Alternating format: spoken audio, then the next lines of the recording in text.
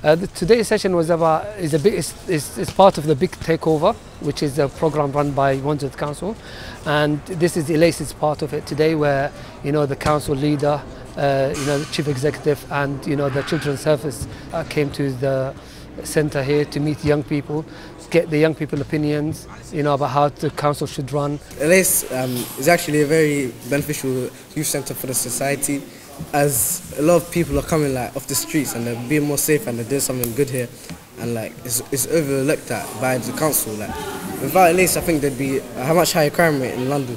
So we put travel, make it free. under.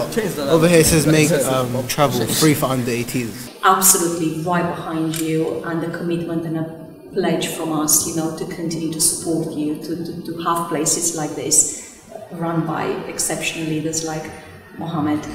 We were able to communicate with people who are more experienced in jobs and we learnt new things, stuff that would help us in the future.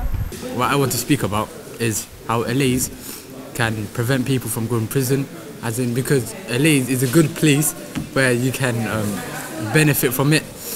And Elays Centre is the right place for you to come I think the young people absolutely enjoyed the session. They participated, they put their opinions about the things that's impacting them. So they talked about, you know, overcrowding, they talk about transportation issues, they talk about academic issues, they talk about so many different things that they highlighted um, that need to be looked at.